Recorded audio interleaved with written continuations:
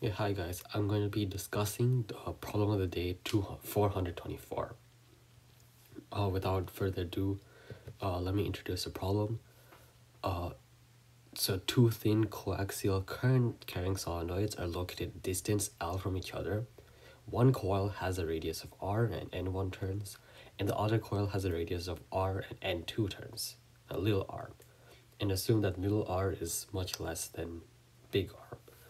So let's draw a picture of this. So there's going to be one coil that's like this, and another coil that's like this, and they're not going to have very, they're not going to be very thick or have a very big length. They're going to be approximately circular regions because they're thin, as specified in the problem. And they're coaxial, they have this common axis, and they carry some current. So this is going to be R and one and this would be big R and two. And they share the same uh, they are a difference of L from each other. And we want to find the force of mutual interaction between both solenoids given that this solenoid carries a current of I1 and this solenoid carries a current of I2 sorry. This one is n1 mix that up. So yeah. This is to be our problem. And the easiest way is just going to be finding out how to calculate the magnetic field. And magnetic field plays a big part in this uh, because you can calculate the force on a wire loop because of the formula I times L, the vector quantity of length times magnetic field. And if you can find the perpendicular component, you can look at one of the solenoids and you know that it has n turns and its length r or something. Magnetic, magnetic field will be perpendicular to this so then all you have to do is multiply after you find the magnetic field perpendicular contribution. So we can do this immediately or know that Biot-Savart law, we're going to use that, which is essentially this. So the infinitesimal quantity of a magnetic, magnetic field is going to be uh, mu 0 i over 4 pi and then you multiply this by dl times the vector quantity r hat over r squared. And if we if we assume that it is at an angle of r phi so let's draw this. We have something like this. So at a distance l is per se we have this. Then we have what? We have can draw these and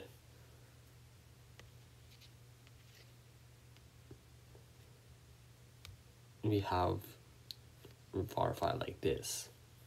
It's going to be R and this is going to be D var phi.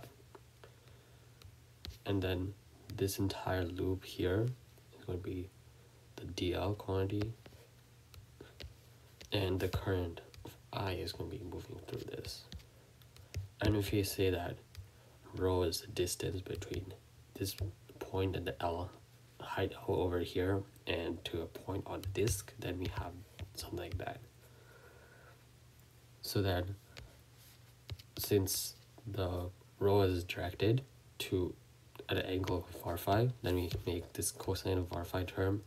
And we know from this picture, there's when we right triangles, we know that cosine of var phi is just going to be r over rho so you have this formula. Now we're just going to integrate through like this. Since we've already separated the variables to this type of differential equation, what we're going to do is now integrate to find the total magnetic field contribution.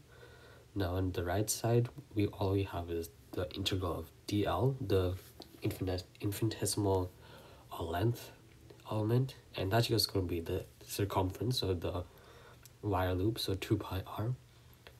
And now we just uh, put this all together we have this formula that's given to us after some mathematical simplifications. And since it's a perpendicular magnetic component and that's made of n1 loops so this entire time we're considering uh, the bigger loop again once again then this bigger loop is going to have n1 turns. So magnetic field is just going to be n1 times b since it's not that big. So then you have this formula.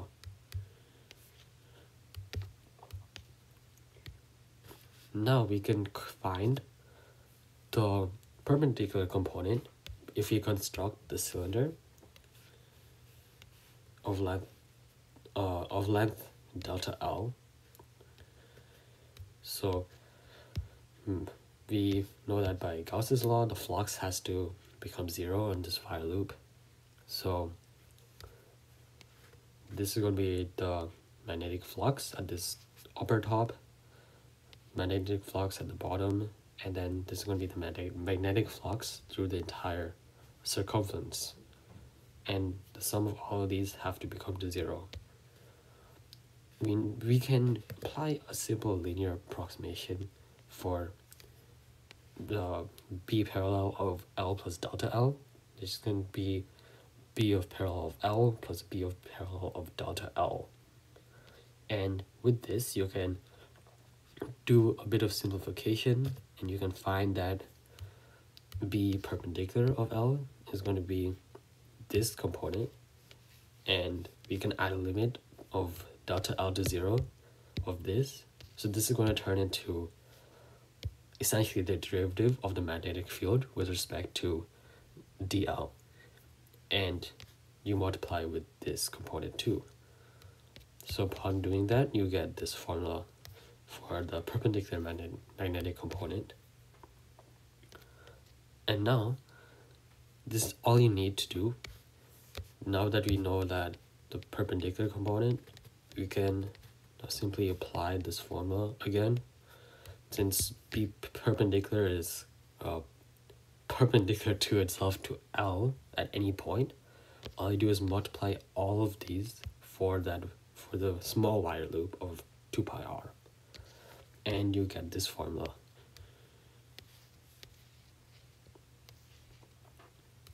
Now there's another way that you can do this problem. Uh, that is named namely mutual inductance since the two wire loops contain um that they're mutually attracted to each other so they have mutual inductance. So if we consider the flux through one of these um, solenoids you can see that this will be the flux and then we already calculated the perpendicular parallel component in the previous. So you have this formula for the magnetic flux. And then you you know once again that the mutual inductance is just the flux over the current. So we have this formula. Now we consider the total energy and we, we consider the energy because taking the derivative of energy with respect to x will give us the force. So we know this is the total energy of all the solenoids we where L1 and L2 are just in their own um their own inductances.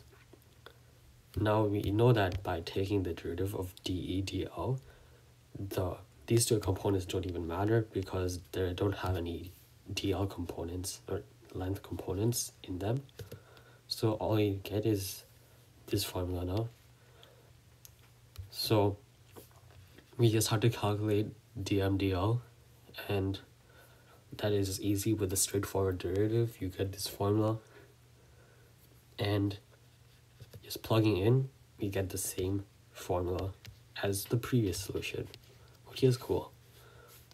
Now one last one last method that you can do but i'm not going to talk about in this video is you can use uh you can think of the solenoids as magnetic dipoles and there will be magnetic dipoles directed like this.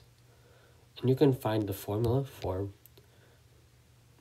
um, the force between these two dipoles when they're oriented at different angles.